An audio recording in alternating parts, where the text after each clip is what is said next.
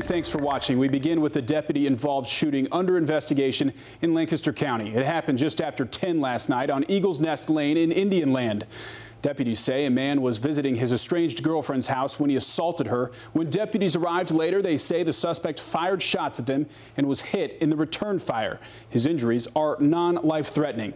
WCNC's NBC Charlotte's Lexi Wilson joins us live at the scene. Lexi, deputies arrived to quite the chaotic scene last night. Yeah, Rob, well, it definitely was. Deputies were lined up and down the street of this neighborhood after a man shot at deputies, then they shot back. Now, sheriff's office was responding to a domestic disturbance inside of this home. Officials say Joshua Hendricks III was armed with a gun and assaulted his 34-year-old estranged girlfriend. Hendricks walked outside. The victim locked him out. That's when he shot through the door into the home. The victim's mother and two-year-old son were inside. When deputies arrived and tried to arrest Hendricks, he fired at the deputies and they shot back at him. During all of this, the victim and her family were able to slip out the back door. Now, police tell us that Hendricks has non-life threatening injuries and will be taken into custody.